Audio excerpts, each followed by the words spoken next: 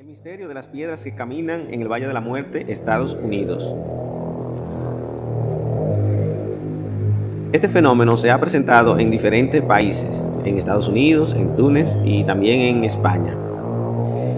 Y son rocas pequeñas y grandes que se están desplazando y dejan un rastro en su movimiento. Algunas son tan pequeñas como pelota de béisbol y otras pueden medir hasta 300 kilos, pero las benditas rocas se mueven.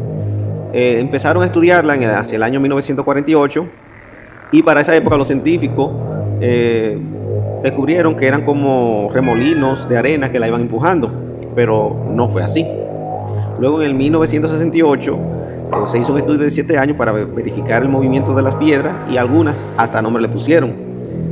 Hay una que se llama Nancy, que es la más pequeña, de 6.35 centímetros, la que más rápido se mueve, otra que Karen, la más grande ya, 320 kilogramos. Y al final del estudio de 7 años, 28 de las 30 piedras en observación se movieron. La que más se movió fue Nancy con 262 metros.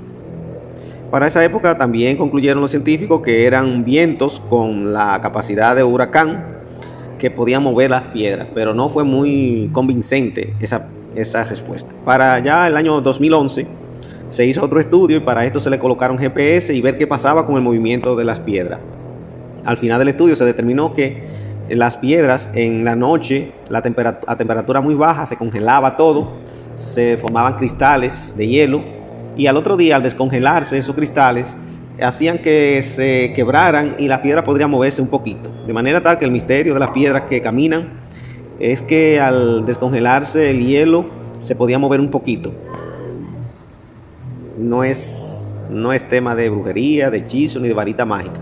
Es un tema natural que existe en diferentes partes del mundo. Hasta luego.